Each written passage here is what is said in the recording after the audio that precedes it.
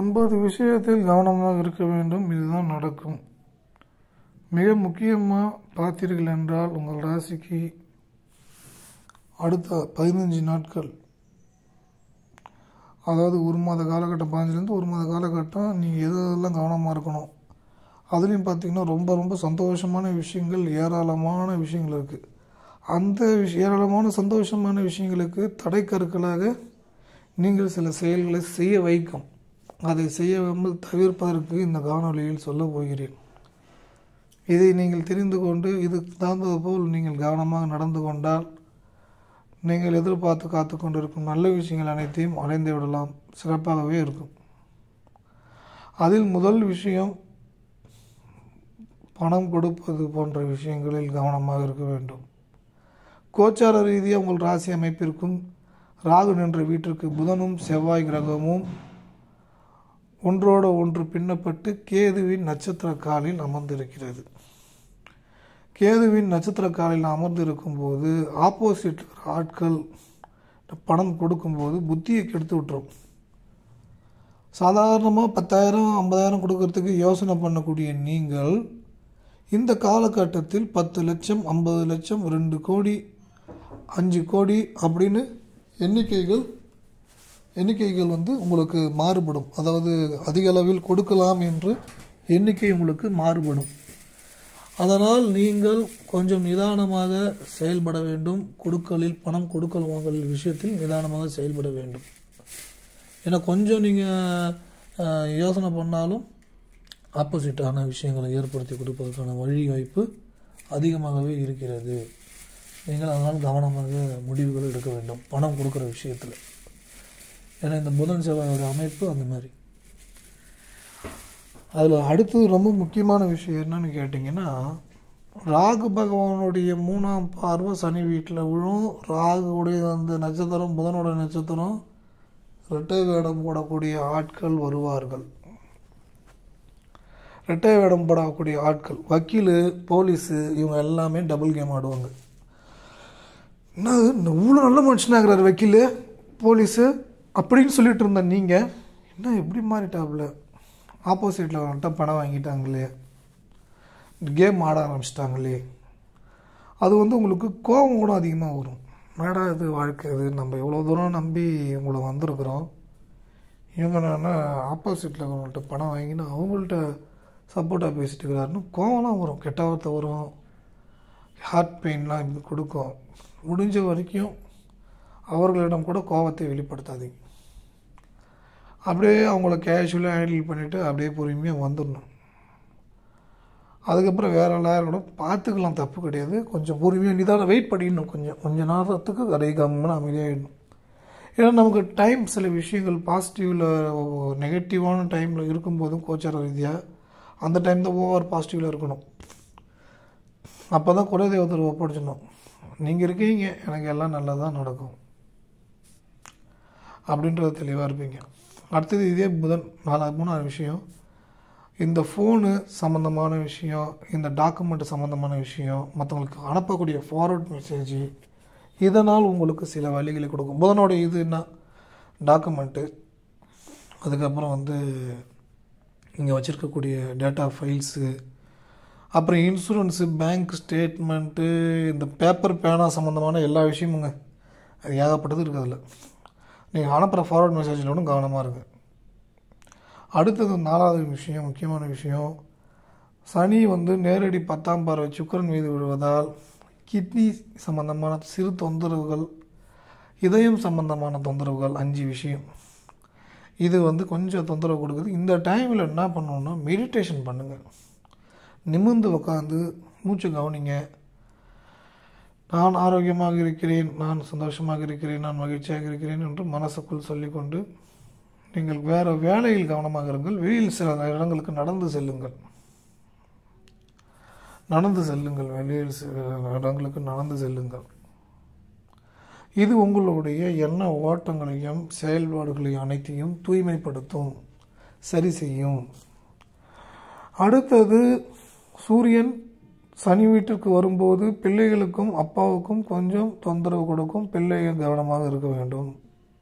ஆறாவது முக்கியமான விஷயம் பிள்ளைகளிடம் அப்புறம் தந்தை பிள்ளைகளிடம் கவனமாக பிள்ளைகள் தந்தையிடம் கவனமாக இருக்க வேண்டும். அவர்களை வெறுப்பேற்றுற மாதிரி கடுமையாக பேசாதீர்கள். அடுத்தது உங்களுக்கு ஒரு பண வரவு இருக்குது அதுதான் இங்கே விஷயமே. ஒரு பெரிய தொகை வரப்போகுது. அந்த பணத்தை எடுத்து வேறு யாருக்கா கொடுக்கறதுக்கு முயற்சி பண்ணுவீங்க. அதை மேக்ஸிமம் அவாய்ட் பண்ணிக்கோங்க. அதை வந்து கோல்டு ரொம்ப பாதுகாப்பான இன்வெஸ்ட்மெண்ட்டு எதுலையாவது போட்டு மறந்துடுங்க. ஏன்னா இந்த டைமில் பணம் கொடுத்தா அந்த பணத்தை வாங்குறது கஷ்டமாக இருக்கும். ஏற்கனவே சொன்னேன் திருப்பி ரெண்டாவது ரிப்பீட் பண்ணுறதுல உங்களுக்கு வர வேண்டிய பணத்தை இப்படி கொடுக்கலான்னு ஒரு திட்டம் இருக்கும். அதெல்லாம் நீங்கள் கவனமாக இருக்கணும். அதே மாதிரி இராணுவ அதிகாரி போலீஸ் வக்கீல் நீங்கள்லாம் ஆப்போசிட்டில் இருக்கிற ஆட்களுக்கு கை மாறாதீங்க. மாறினா இது உங்களுக்கு பின்விளைவு அதிகமாக கொடுக்கும். இது தொழில் அப்படின்லாம் இருந்தாலும் பாதிக்கப்பட்டவர்கள் அழுது விட்டால் அது தொந்தரவு அதிகமாக ஏற்படுத்தும். கவனம் தேவை. அடுத்தது தொழில் ரீதியாக பார்ட்னர்ஷிப்பில் நீங்கள் கவனமாக இருக்க வேண்டும். முதலீடு போட்டு பண்ணக்கூடிய தொழிலாக இருந்தாலும் சரி கமிஷன் பேஸ் பண்ணக்கூடிய தொழில் சரி இது புதுசாக ஒரு திட்டம் நீங்கள் நோக்கி போகிறீங்கன்னா முடிஞ்ச வரைக்கும் பொறுமையாக நிதானமாக இது செட் ஆகாதுன்னு சொல்லி விலகிடுங்க. அதேமாதிரி கொடுத்தது கேட்டால் அடுத்தது பகன்ற மாதிரி அந்த பண விஷயத்துல அதான் இல்லைன்னு சொல்லும்போது அந்த டைம் ஒருவோட பிரச்சனையோட முடிஞ்சிடும் கொடுத்துட்டுனா அதுக்கப்புறம் வருஷ கணக்கில் இழுத்துட்டு கொடுக்கும் கிடைக்குமா கிடைக்குமான்னு இயங்க வைக்கும். அதேபோல் எதிரிகளை எதிரிகளையும் வேறு நபர்கள் சக்தி சம்பந்தமான விஷயத்தை இன்னொரு நபரிடம் பகிர்ந்து கொள்வது போன்ற செயலை சிக்காதீங்க. ஏன்னா இந்த டைம் தான் அது சம்மந்தமான விஷயங்கள் எல்லாம் உங்களை அறியாமல் இழுத்து செல்லும். உங்களை அறியாமல் இழுத்து செல்லும். அதுதான் உங்களுக்கு மன வலியும் வேதனையும் கொடுக்கும். இந்த டைமில் தான் வந்து பாஸ்போர்ட் எடுக்கிறதுக்கு தொந்தரவு விசா எடுக்கிறதுக்கு தொந்தரவு வெளிநாடு சம்மந்தமான விஷயங்கள்லாம் தொந்தரவு சிறு சிறு தொந்தரவு கொடுக்குது. கிடைச்சிடும் அதுக்காக நெகட்டிவாகவே நினைக்கும். ஏன்னா டாக்குமெண்ட் சம்மந்தமான பிரச்சனை தான் அந்த புதன் செவ்வாய் வந்து காம்பினேஷன் வந்து கேதுவுடைய காலில் போய் உட்காந்துட்டேன் இந்த டைமில் ஆஞ்சநேயர்கிட்ட சொல்லிடுங்க. நீங்கள் பார்த்துக்குங்க அப்படின்னு சொல்லுங்கள் வேண்டாதீங்க இது வேணும்லாம் சொல்லாதீங்க. நீங்கள் பார்த்துக்குங்கன்னு சொல்லுங்கள் ஏன்னா சில பேருக்கு வேண்டும் போதும் ஆப்போசிட்டாக வேலை செய்யும். அது சுய ஜாதகத்தில் இருக்கிற பிரச்சனையை பொறுத்து. ஓகேங்களா? அதையும் நீங்கள் புரிஞ்சுக்கணும். அதனால் நீங்கள் பார்த்துக்குங்கன்னு சொல்லிட்டு கம்முன்னு அமைதியாக ரொம்ப நியூட்ரலாக சொல்லணும். நீங்கள் பார்த்துக்குங்கப்பா ஆஞ்சநேயர்கிட்ட. அவ்வளோதான் வேறு ஒன்றும் கிடையாது.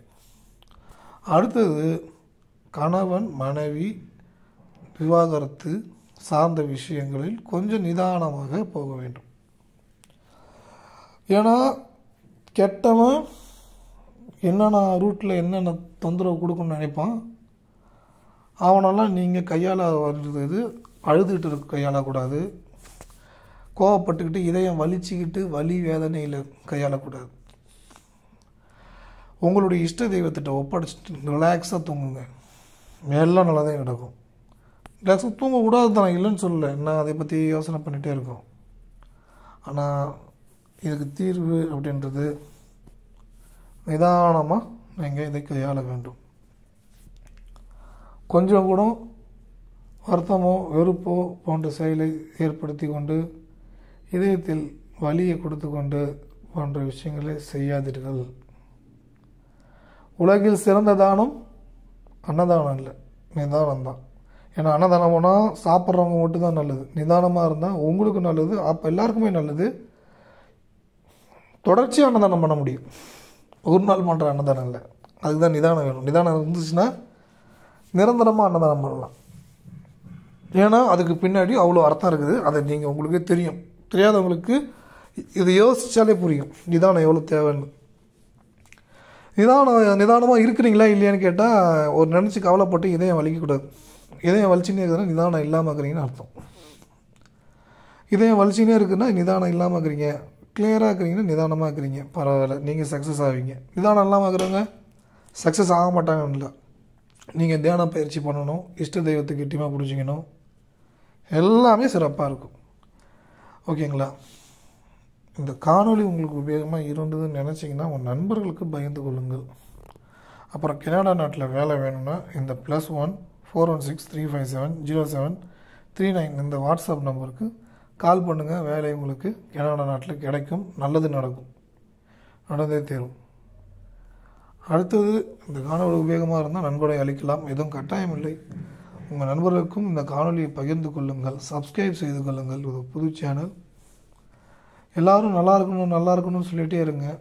உங்களுக்கு மனசு சாந்தமாகிடும் கெட்டவங்களும் நல்லா இருக்குன்னு சொல்ல பார்த்தா நமக்கு நல்லது நடக்கும். இதை நீங்கள் புரிஞ்சுக்கணும். எல்லோரும் நல்லா இருக்கணும் எல்லோரும் நல்லா இருக்கணும் எல்லோரும் நல்லா இருக்கணுன்ற வார்த்தையை மனதுக்குள் சொல்லிக்கொண்டே இருங்கள். எல்லாமே நல்லதே நடக்கும். மீண்டும் ஒரு நல்ல சந்திப்போம். நன்றி வணக்கம்.